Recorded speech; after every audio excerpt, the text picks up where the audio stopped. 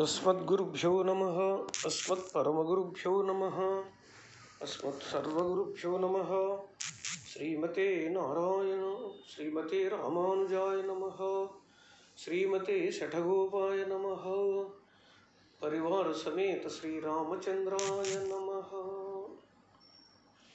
भक्तामृतं विश्वजनानुमोदनं सर्वार्थदं श्रीशठगोपवाङ्मयं सहस्रशाखोपनिषत्समागमं నమామ్యహం ద్రావిడవేదసాగరం ఓ మనసా అర్ధపంచక జ్ఞానము తెలియచేసుకుంటూ తెలుసుకుంటూ పరమాత్మ యొక్క పరస్వరూపాన్ని తెలుసుకున్నాం అలాగే ఇక జీవస్వరూపము ఎలా ఉంటుందో తెలుసుకుని దానికి ఆ, అది అజడము ప్రకృతి కంటే వేరైనదని చెప్పి ఆనందమయము నిత్యము అణువు అవ్యక్తము ఇంతవరకు కూడా తెలుసుకున్నాం.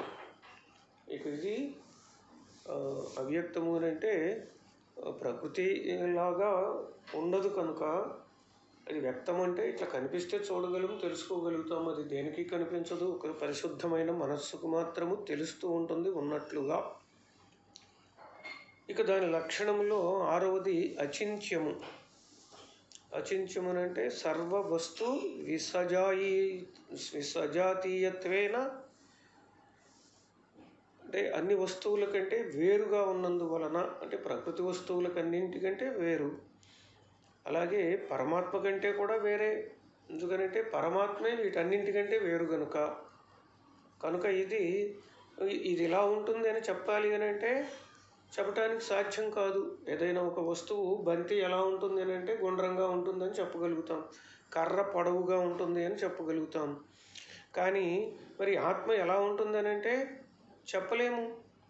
అది వీటన్నింటిలో దేనికి కూడా పోలిక ఉన్నటువంటిది కాదు చెప్పుకోవటానికి వీల్లేదు కనుక ఏదో జ్యోతి అని వెలుగని అంటారు కానీ ఈ ప్రకృతి సంబంధమైన వెలుగైతే మాత్రం కాదు అది అది కాదు ఏదో దర్శించామని చెప్పేవాళ్ళు కూడా యోగులు నాకు కొంత పరిచయమైన ఒక ఆయన చెప్పారు అది ఒక వెలుగులాగా ఉంటుంది అనేది. కానీ ఆ వెలుగంటే ఎలా ఉంటుందో కూడా ఈ వెలుగు లాంటిది మాత్రం కాదు. అది మాత్రం సత్యము ప్రకృతి సంబంధం అసలు కానే కాదు. అందుకే అది అచింత్యము. చింతించటానికి కూడా అంటే ఇలా ఉంటుందని చెప్పడానికి కూడా సాధ్యం కానిది. ఇక నిరవయవమాయి అవయవములు లేనిది. అంటే విజ్ఞానమయ విజ్ఞాన ఘన అంటూ అది కేవలము జ్ఞానమే. ఇక దాంట్లో ఇప్పుడు మా అవయవములు అంటే కాళ్ళు చేతులు అలాగే ఒక కుర్చీ ఉంటే దానికి కాళ్ళు ఉంటాయి అలా. ఇలా ఒక అవయవం అంటూ ఒక విభాగం అంటూ ఏదీ లేదు దానికి. నిర్వికారమాయి ఇక వికారములు అంటే మార్పులు ఈ ప్రకృతి మారుతూ ఉంటుంది. పుట్టడము పెరగటము చిన్నదై పెద్దదై ఈ శరీరం మారుతూ ఉంటుంది. ప్రకృతి అన్నప్పుడు శరీరం కూడా అర్థమే. వేరువేరుగా ఉంటే శరీరాలు అది మొత్తం కలిస్తే ప్రకృతి. అలాగే వీటిల్లో చిన్నప్పుడు పుట్టినప్పుడు చాలా చిన్నగా ఉండటము ఆ తర్వాత పెరుగుతూ ఉండటము ఇలాంటివన్నీ కూడా శరీరానికి ఉంటాయి తప్ప ఏ సమయంలోనైనా ఆ జీవుడు ఒకే రకంగా ఉంటాడు. అతనికేమి ఈ వికారాలు కలగవు.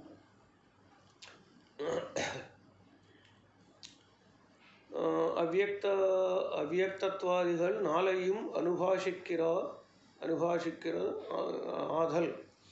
అంటే అవ్యక్తము దగ్గర నుంచి నాలుగు చెప్పినటువంటివి అంటే అవ్యక్తము అచింత్యము నిరవయము నిర్వికారము అనేది ఆ గీతలో శ్రీకృష్ణ స్వామి కూడా చెప్పారు కదా అంటూ ఉన్నారు. నయనం చిందంతి శస్త్రాన్ని నయనం దహతి పావక అంటూ ఆయన చెప్పాడు గీతలో చెప్పుకున్నాం.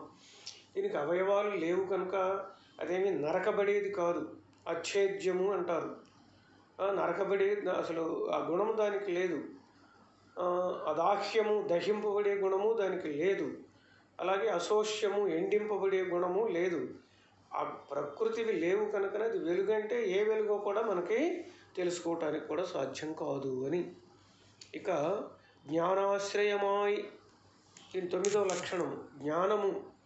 జ్ఞానము అని అంటే జ్ఞానమావధు స్వసత్తా మాత్రత్తిలే స్వాశ్రయత్తైపత్తి స్వపర వ్యవహారత్తు కూడలా ஆய் இருப்பது ஒரு ஆத்ம ధర్మం ఇదుకు ఆత్మ ఆశ్రయమాహై అవదు.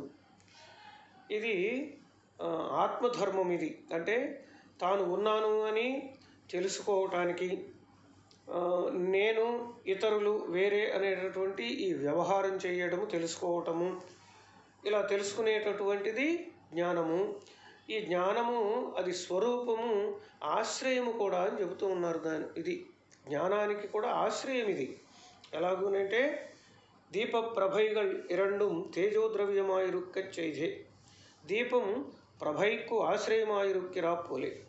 దీపము ప్రభ అంటే దీపము వెలుగు.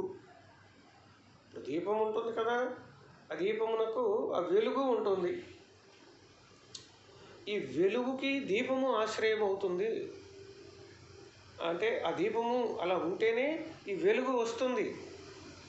అలా ఇది ఆశ్రయము అన్నమాట. అయితే ఇక్కడ దీనిలో అవయవాలు ఉండవచ్చు మనం చెప్పుకునేటటువంటి దీపములో. ఆ నూనె ఉండొచ్చు ఒత్తి ఉండొచ్చు ఇలాంటివి. కానీ ఇది ఉపమానము అంటే దాని వ్యతిరిక్తమైన ధర్మాన్ని మనం తీసుకోవాలి. అలాగే ఆ వెలుగు ఇప్పుడు లేదు వెలుగుని బట్టైనా మనం చూ చూడవచ్చు ఆ వెలుగు ఉంటుంది. అది ఒక చోట మనకు కనపడుతూ ఉంటుంది. దాని కాంతి ప్రసరిస్తూ ఉంటుంది. ఆ వెలుగు ఉంటుంది. దాని కాంతి ప్రసరిస్తూ ఉంటుంది. ఈ వెలుగుతే కదా ఆ కాంతి. ఆ చుట్టూ వచ్చేదంతా ఆ నిలబడిన ఏదో ఒక ఆ దీపముగా మనకి ఆ నిలువుగా ఉన్నటువంటిది జ్వాల అంటాం దాన్ని. దాని చుట్టూ ఉండే కాంతి. ఆ జ్వాల అనేది దానికి ఆశ్రయమైనట్లుగా కాంతి. జ్వాల లేకపోతే కాంతి లేదు. కనుక ఇలా జ్ఞానానికి ఇది ఆశ్రయము. కనుక అప్పుడు ఏమవుతుందనంటే ఆ జ్ఞానానికే ధర్మభూత జ్ఞానము అని పేరు. అది దాని గుణము అని అంటారు. కొంచెం సూక్ష్మంగా ఆలోచించుకుంటే అర్థమవుతూ ఉంటుంది. ఇక ఈశ్వరునుకు నియామ్య ధార్య శేషం. ఇదిగా ఈశ్వరుడికి నియామ్యము అంటే నియమించదగినది ఆయన లోపల ఉండి ఆయన నియమిస్తూ ఉంటాడు. సర్వస్యచ అహం హృది సన్నివిష్ట అంటూ చెప్తూ ఉంటారు. ఈశ్వర సర్వభూతానం హృద్దేశే అర్జున తిష్టతి అని అక్కడ కూడా చెప్తాడు ఆయన. లోపల ఉండి నియమిస్తూ ఉంటాడు. ఇంకా ఉపనిషత్తులు కూడా ఈ విషయాన్ని చెప్పినాయి ఆత్మని తిష్టన్ ఆత్మ అనమంతరు యమయతి అంటూ బృహదారణ్యకం చెప్తూ ఉంటుంది. ఆయన ప్రతి దాంట్లోనూ ఉంటాడు. "య పృథివ్యాం తిష్టన్ అంటూ భూమి ఎందు ఉండి భూమిని నియమిస్తూ ఉంటాడు. గాలి ఎందు నీటి ఎందు వరసనే చెప్పుకుంటూ వస్తారుగా ఒక ఈ అన్నింటినీ చెప్పుకుంటూ వచ్చి చివరికి ఆత్మని తిష్టను అంటారు. ఆత్మ ఎందు ఉన్నాడు దాని లోపల ఉండి దానిని నియమిస్తూ ఉంటాడు పరమాత్మ. ఇక ధార్యము అంటే ఆయన ధరించి ఉంటాడు దీనిని ఆయన లేకపోతే ఇది ఉండలేదు. ఏష సేతుర్ విధరణ. ఆ పరమాత్మే ధరించేవాడు అని చెప్తూ ఉన్నాయి. అలా ఇక శేషము అంటే ఆయనకే చెంది ఉండటం. అంటే ఆయనకి చెంది ఉండటం అంటే ఏ పని చేసినా సరే ఆయనకే గొప్పతనం కలిగేటట్లుగా ఇది చెయ్యడము ఇచ్ఛాతయేవ తవ విశ్వ పదార్థ సత్తా ఈ విశ్వ పదార్థములన్నీ కూడా ఆయన అలా ధరించాడు కనుకనే ఉన్నాయి. ఆయనకే శేషమై ఉన్నాయి. ఇక ఈ శేషము అనేది ఎలాంటిది అని అంటే మనం ఏదైనా ఒక చొక్కా తొడుక్కున్నాం అనుకోండి లేదు ఏదో ఒక ఉంగరాలు పెట్టుకున్నాం అనుకోండి ఒక అలంకారాలు చేసుకున్నాం అనుకోండి అది ఎవరికి ఆ అలంకారము ఆ పెట్టుకున్న ఉంగరానిదా లేకపోతే వేసుకున్న దండక కాదు కదా? మనకి ఎలా ఒక గొప్పతనాన్ని ఆపాదిస్తూ ఒక అందాన్ని ఆపాదిస్తూ ఉంటాయో అలాగే మనం కూడా ఆయనకే చెందిన వారిమై ఉండాలి చేసే ప్రతి పని ఆయనకే గొప్పతనం కల్పించేటట్లు ఉండాలి. అంతేకాక ఇది చివరికి మిగిలేటటువంటిది అంటే ఎక్కడ మిగులుతుంది ఇది అని. శేషము అని అంటే మిగిలేదాన్నే కదా మనం శేషం అంటూ ఉంటాం. ఇది ఎక్కడ మిగులుతుంది అని అంటే శేషిలో మిగులుతుంది. ఆయన శేషి అంటారంటే పరమాత్మకే చేరిపోతుంది ఇది. పరమాత్మకు సంబంధించినది. ఇక దీనినే భగవద్ రామానుజులు వారు కూడా శ్రీభాష్యంలో దీనికి ఒక నిర్వచనం చెప్పారు. యస్య చేతనస్య యత్ ద్రవ్యం సర్వాత్మన స్వార్థే నియంతుం ధారయితుంచ శక్యం తచ్చేషతైక స్వరూపంచ తత్తు తస్య శరీరం. శరీరం అనేటటువంటి దానికి ఆయన ఒక నిర్వచనం చెప్పారు. ఇంకా చాలామంది తార్కికులు వీళ్ళందరూ కూడా రకరకాలైనటువంటి నిర్వచనాలు వాళ్ళు చెప్పారు. కానీ సరి అయినటువంటి ఒక నిర్వచనము ఇది ఎలాంటిది అని అంటే సర్వాత్మన స్వార్థే నియంతం. పూర్తిగా తను నియమించాలి. తన నియంత్రణలోనే ఉండాలి. ఇప్పుడు మనకి ఏమైనా వస్తువులు ఉన్నాయనుకోండి అవి మనకి పూర్తిగా మన నియంత్రణలో ఉండవవి అవి. ఎలా? ఇప్పుడు శరీరమే అనుకోండి ఈ శరీరమే ఏదైనా అనారోగ్యం ఏర్పడితే మనకు సాధ్యం కాదు. ఈ చేయి కదలదు ఆ చేయి కదలదు. పక్షవాతం లాంటివి వచ్చినాయంటే ఇక చెప్పే పని లేదు. ఆ పక్కపక్కే కదలదు. ఇలా మనం నియమించటానికి ఇది సాధ్యం కాదు. మరి ధారయితుంచ శక్యం ధరించాలి. మరి ధరించి ఉండటం అంటే అది ఉంటేనే ఇది ఉన్నట్టు అది లేకపోతే ఇది లేనట్టు. ఎలాగనంటే ఈ జీవుడు లేకపోయినా ఈ ప్రకృతి ఉంటుంది. కానీ పరమాత్మ కానీ లేకపోతే ఈ జీవుడు ఉండలేడు. కనుక తచ్చేషతైక స్వరూపం. అంటే అతనికే చెంది ఉండటం. ఇది కలిగినటువంటిదే అతనికి శరీరం అనే లక్షణము. ఆ జీవుడు పరమాత్మకి శరీరం అనే లక్షణము ఇక్కడ చక్కగా సరిపోతూ ఉంటుంది. మిగిలిన చోట్ల ఏదో కొంచెం కొంచెం ఆ లక్షణాలు ఇతర విషయాల్లో ఉంటే ఉండవచ్చు. కానీ పూర్తిగా జీవుడు దేవునికి శరీరము అనేటటువంటి విషయము చక్కగా సరిపోతూ ఉంటుంది శరీర లక్షణానికి. ఇక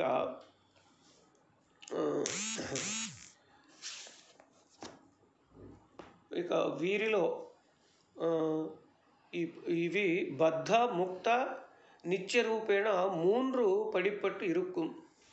ఈ ఈ జీవస్వరూపంలో బద్ధులని ముక్తులని నిత్యులు అని మూడు రకాలుగా ఉంటారు అంటూ ఉన్నారు. ఆ, సంసారి సంసారిహళై మరి బద్ధులు అంటే ఎవరు అని అంటే సంసారులు అజ్ఞానంలో ఉండేటటువంటి వారు.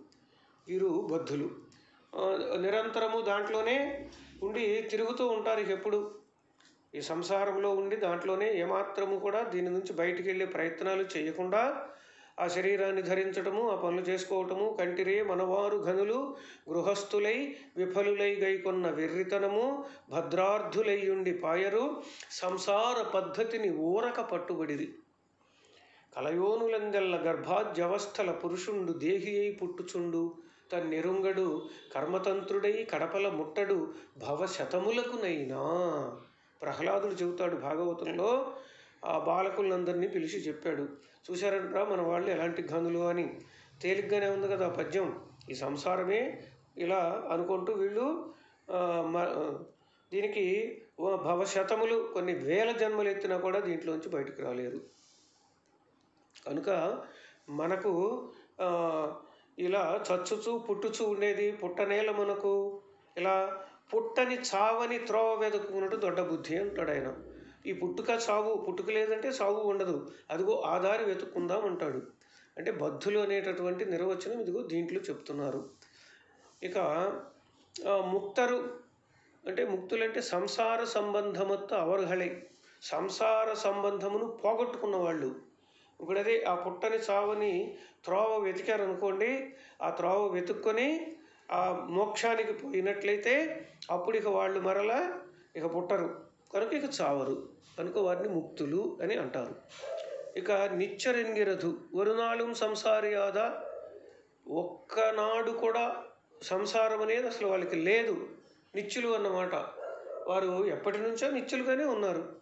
శేష శేషాసనాది గలై శేషుడు శేషాసనుడైనటువంటి విశ్వక్సేనులు గరుత్మంతుడు మొదలైనటువంటి వాళ్ళందరూ కూడా. ఇలా ఇవి శిలరు ధర్మభూత జ్ఞానం ధర్మీభూత జ్ఞానం. ధర్మభూత జ్ఞానము అని అంటే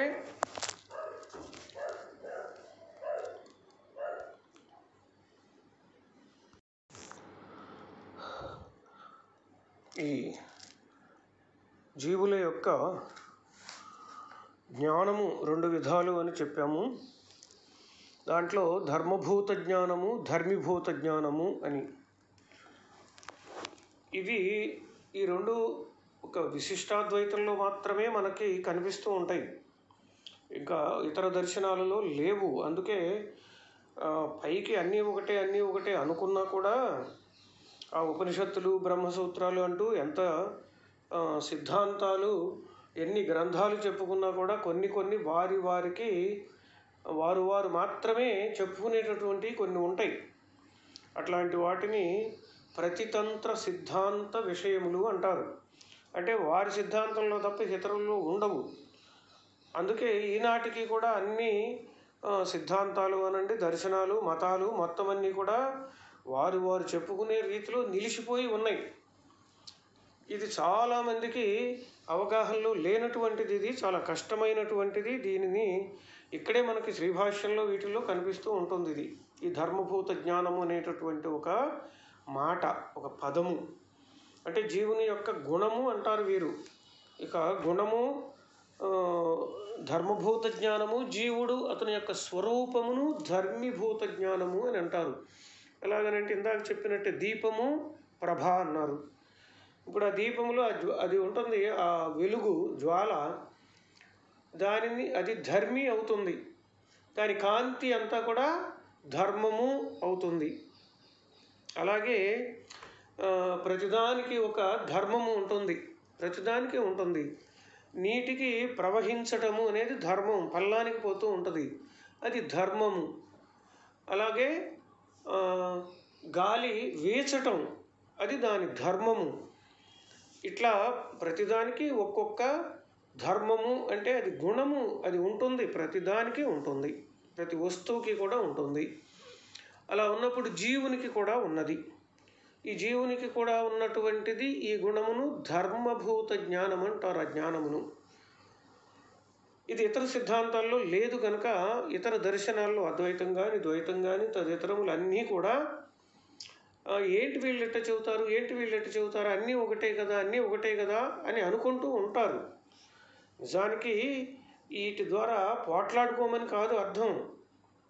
ఇప్పుడు మనకి సర్వేపల్లి రాధాకృష్ణన్ అనేటటువంటి ఆయన మనకి రాయబారిగా విదేశీ రాయబారిగా ఉపరాష్ట్రపతిగా రాష్ట్రపతిగా కూడా చేశాడు. ఆయన కూడా ఈ తత్వము చాలా గొప్పది. ఆయనది ఆయన చదివింది కూడా ఫిలాసఫీ. అలాగే ఆయన చెప్పినటువంటి మాట ఏమిటనంటే రామానుజాచార్యులు వారు ఖండించాడు అని అనకండి. ఖండించడం కాదది. ఆయన ముందు వరకే ఉన్నటువంటి దర్శనములు ఓ పదిహేడు ఉన్నాయి. అవి దీంట్లో వస్తాయి తర్వాత. దాని వివరం మనం చెప్పుకుంటాము. వాటిల్లో ఉన్నటువంటివి లోపములను పూరించాడు అన్నాడు ఈయన. అలాగే శంకర భగవత్పాదులు వారిని కూడా నిరసించటం కాదు. చాలామంది పెద్దలు చెప్పే మాట ఆయన అల్పజీవి అయ్యి ముప్పై రెండు సంవత్సరాలకే ఆయన వెళ్ళిపోయారు. కానీ ఇంకా ఆయన జీవించి ఉన్నట్లయితే రామానుజాచార్యులు వారు చేయవలసిన పనులు అన్నీ ఆయన చేసేవాడు అన్నారు పెద్దలు. అంటే తర్వాత చెబుతూ వచ్చేవాడు ఆయన. ఆ క్రమంలో వచ్చేవాడు కానీ అలా కుదరలేదు అని అనుకుంటారు. సరే అవన్నీ తీసి పక్కన పెట్టేసేద్దాం. ఇష్టమైన వాళ్ళు అంగీకరించవచ్చు లేకపోతే లేదు. ఇక్కడ ఉన్నటువంటి విశేషం ఇది. ఇది. ఇక దీనిని ప్రత్యేకంగా మనకి ఇక్కడే కనిపిస్తూ ఉంటుంది. ఈ సిద్ధాంతంలోనే ఇది కూడా నమ్మాళ్ళ వారి దగ్గరే కనిపిస్తూ ఉంటుంది. దానిని తీసుకునే అందరూ చెప్పుకున్నారు. ఇతర వేద వేదాంతాలలో సంస్కృత వేదాల వేదాంతాలలో కూడా లేవు. అందుకనే ఈ దర్శనంలో ఉన్న విషయములు అందరికీ అర్థం కాకపోవటానికి కారణం.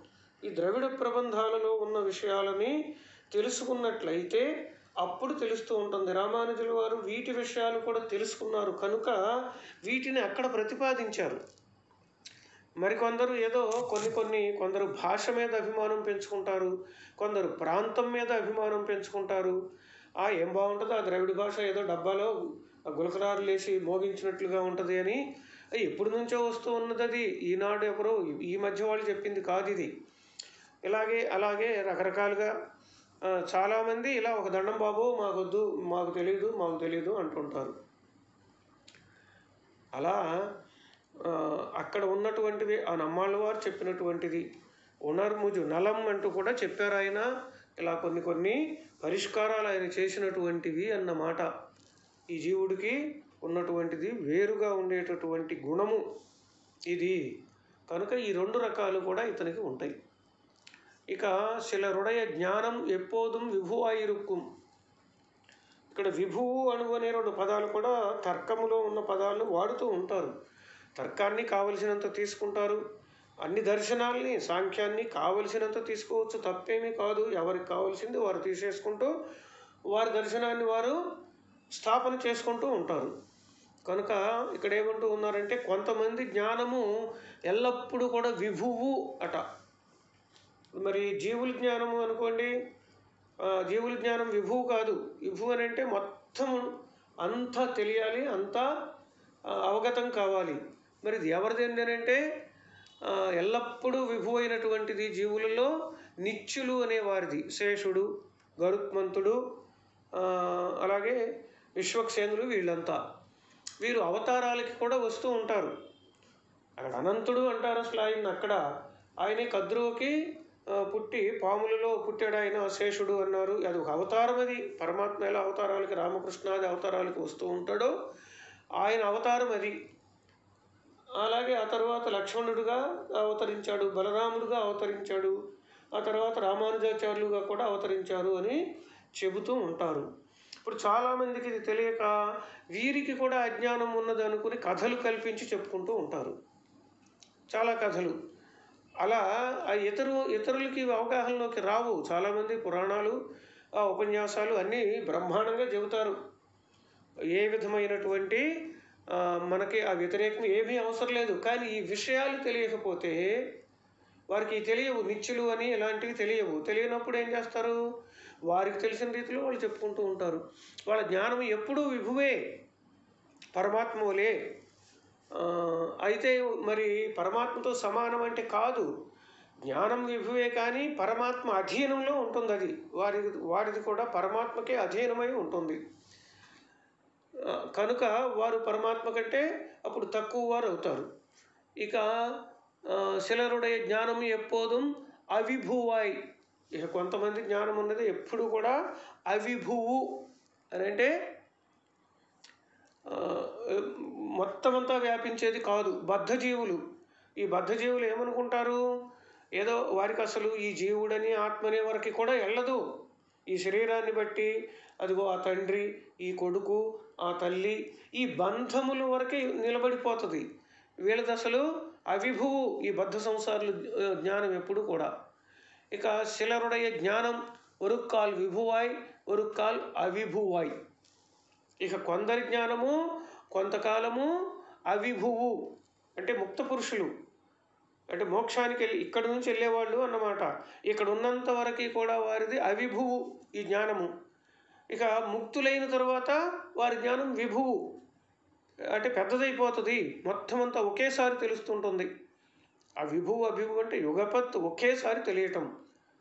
ఇంకా అర్థం కావాలంటే ఎలాగనంటే పరమాత్మ చెప్పాడు శ్రీకృష్ణ స్వామి వేదాహం సమతీతాని వర్తమానాని చ అర్జున భవిష్యాని చ భూతాని మాంతు వేద నకశ్చన నేను యోగాన్ని సూర్యుడికి చెప్పాను అని అంటే ఈ కర్మయోగము నువ్వు నాకంటే కొంచెం పెద్దాడివేమో నువ్వు ఎలా చెప్పావు సూర్యుడికి? అంటాడు అర్జునుడు. అప్పుడు చెబుతాడు ఆయన నీకు నాకు అనేక జన్మలు గడిచిపోయినాయి అయ్యా అవి నీకు తెలియదు నాకు తెలుసు అని. ఇలా ఈ జన్మల ఒకేసారి తెలియటం ఉన్నదే దాన్ని విభుజ్ఞానము అంటారు. దేనికి దానికే పరిమితం అయిపోతే నేను ఈ శరీరము ఫలానా వారి కొడుకుని ఫలానా వారి అల్లుడిని ఫలానా భర్త ఫలానా భార్య ఇక్కడ ఈ పరిమితుల్లోనే ఉంటాయి. ఇంతవరకే ఎవరికైతే ఉంటాయో దీనిని బట్టే ఇక ఏదో ఒక పని చేసి చాలా గొప్పవాళ్ళు అనుకోవటము మరొక పని చేస్తే నీచులని నిందించటము ఈ స్థితులన్నీ ఇక్కడ ఈ శరీరం దగ్గర ఎవరికి ఆగిపోతాయో వారందరి జ్ఞానము కూడా అవిభువు. అలా కాక తెలుసుకొని ఆ పరమాత్మ దగ్గరకు వెళ్ళిపోయినటువంటి వారికి ఆ పరమాత్మని ఆశ్రయించి అప్పుడు విభు అంటే ఒకేసారి వారికి తెలుస్తుంది మొత్తం అంతా తెలుస్తుంటుంది ముక్తులకు కూడా. ఇలా జీవుల యొక్క జ్ఞానము ఇలా ఉంటుంది మూడు రకాలుగా. జీవులు మూడు రకాలుగా ఉంటారు. ఇక అంటే అంతకు ముందేమో జీవుని యొక్క స్వరూపాన్ని చెప్పారు.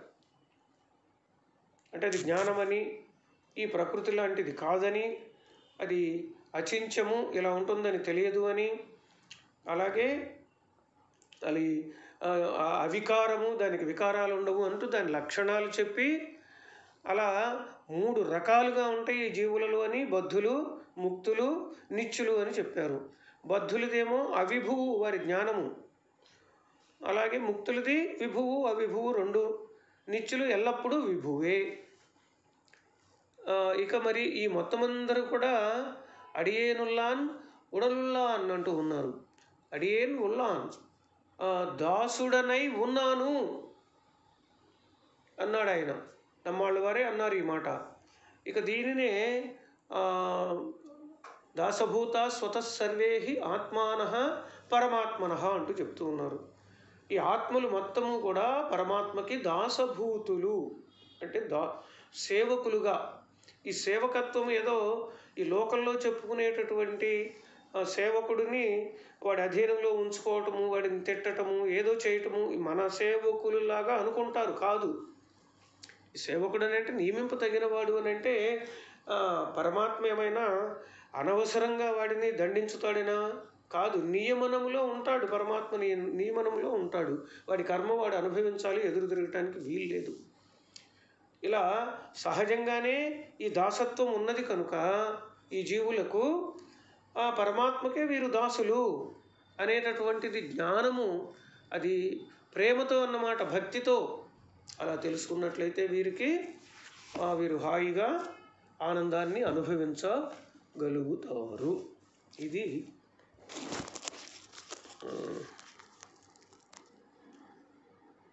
జీవుల యొక్క స్వరూపము. ఇదిరే స్వస్వరూప యాథాత్మ్యం ఇది స్వస్వరూప యాథాత్మ్యము అన్నమాట. ఆ భగవంతునికి దాసులు తొండర్ తొండర్ తొండర్ తొండర్ తొండర్ అంటూ దాసులు దాసులు దాసులకి ఎక్కడో చిట్ట చివరి దాసుడుగాను అనుకోవయ్యా అని. అలాగే తమ్మడియార్ అడియార్ అడియోంగళ్ళు అంటూ దాసులు దాసులు దాసులు దాసులు దాసుడిని సుమ అంటూ ఎంతో దూరం వెళ్ళిపోతూ ఉంటారు. ఇదంతా ప్రేమతో భక్తితో చెప్పే మాట. తద్భృత్య పరిచారక భృత్య భృత్య భృత్ పరిచ అంటూ ఆయన ముకుందమాలు ఆయన కూడా చెబుతారు. ఎంతో దూరం వెళ్ళిపోయి చెట్ట చివరి వాడినిగా నన్ను చూడవయ్యా చాలు అంటారు. ఇది యొక్క స్వరూపము అన్నమాట. ఆత్మ యొక్క స్వరూపము ఇది.